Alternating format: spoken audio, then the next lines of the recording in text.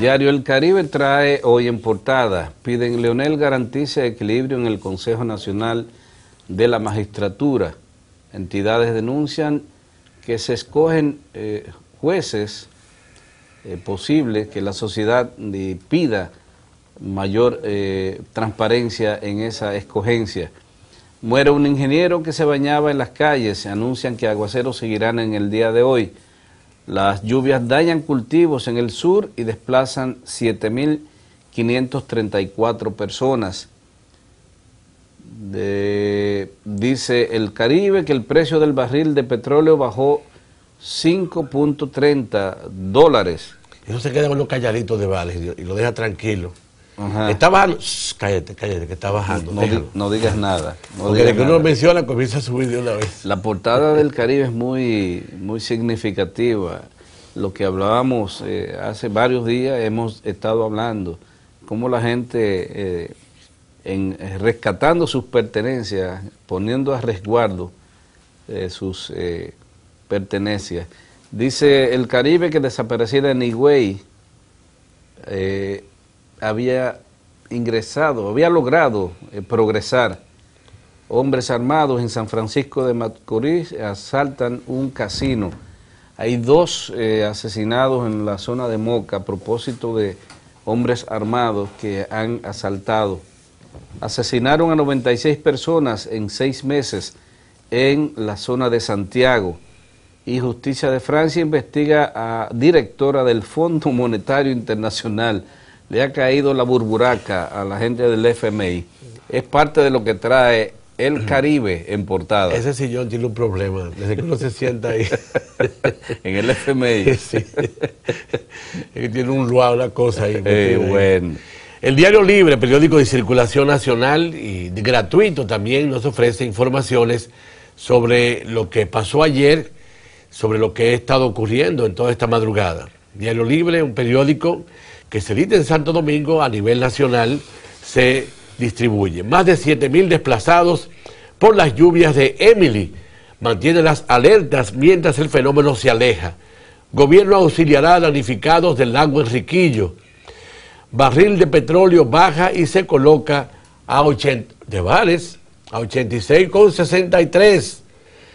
Inundaciones hasta los elevados. Oye, lagos de incluso se parecen a los jardines del colgante de Babilonia. Lucha por apoyo.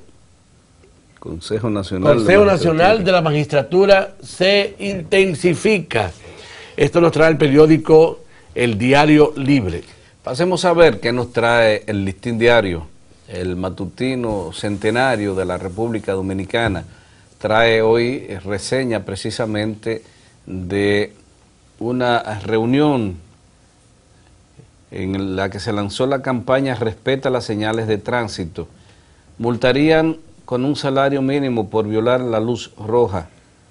Pero AMED deberá estar eh, buscando que el gobierno, que las... Eh, eh, ¿Por qué no colocan cámaras de bares como hace Estados Unidos?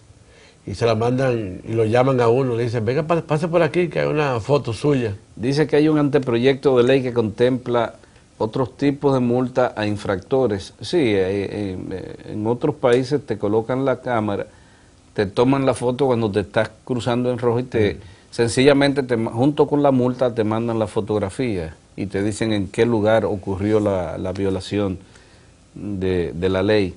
El listín diario dice que eh, colapsó la vía a Duquesa. había el en esta misma semana el Caribe había hecho un reportaje de cómo estaba la carretera de acceso al vertedero de Duquesa. Biososca plantea se aproveche la migración haitiana.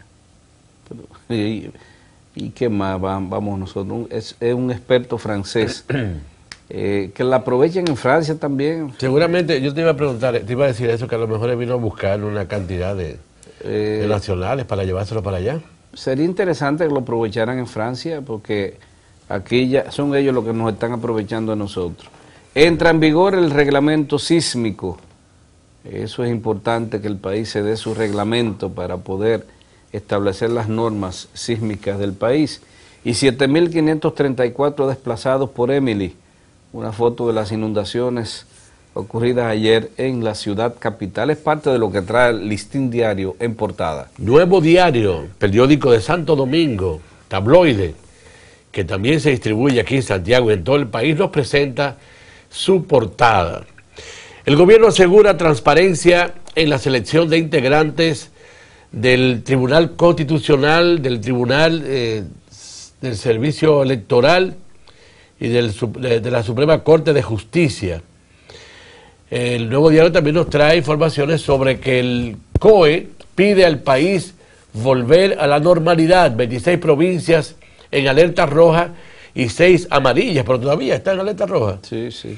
Fernández asegura crisis financiera en estructura, es estructural y tiene raíces históricas. Financiarán conversión de vehículos a gas natural por 800 millones de pesos. El presidente Fernández visitará la zona del lago Enriquillo. Muy, muy interesante esto. Emily se convierte en onda tropical. Continuarán aguaceros. Aboga, se ahoga joven en charco del sector Almas Rosa. Sería el ingeniero ese vale. Sí, sí, así es. Eso nos trae el periódico El Nuevo Diario. Pasemos a ver qué nos trae el matutino El Día, matutino gratuito, editado en la avenida San Martín de la ciudad capital. Dice El Día en portada eh, en el día de hoy que la agricultura en el sur sufrió efectos de Emily. Alex calla en medio de escándalo. Alex Rodríguez, un escándalo de juego de póker en una mesa donde la droga hacía olas en compañía de varios actores. Tengo que llamarlo a Alex. Eh, usted, sobrino mío. Usted, ah, Él es sobrino mío. Ah, bueno. Eh, los organismos de socorro reportaron más de 7.534 personas desplazadas por causa del fenómeno y nueve comunidades totalmente incomunicadas en la región sur del país. Una foto de portada del día eh, señalando un platanal, carajo, pero un platanal raquítico ese. El platanal como que ya estaba en en una tercera producción ya. Tenía un amigo mío campesino, ya está decallecido. Decallecido, languideciendo ese platanal. Junta Central Electoral promueve la equidad de género.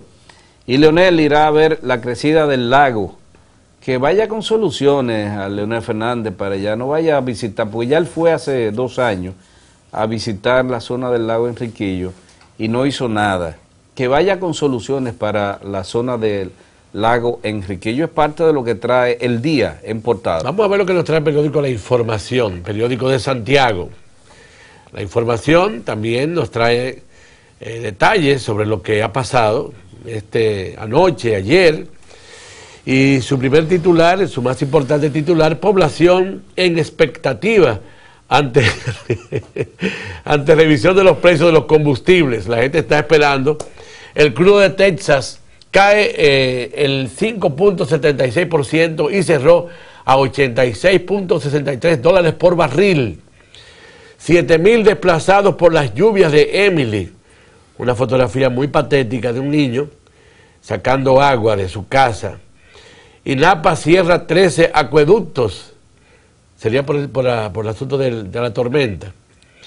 España investigará quiénes recibirán o recibirían los 411 kilos de cocaína ocupados en Jaina. Esto nos trae el periódico La Información como sus titulares principales.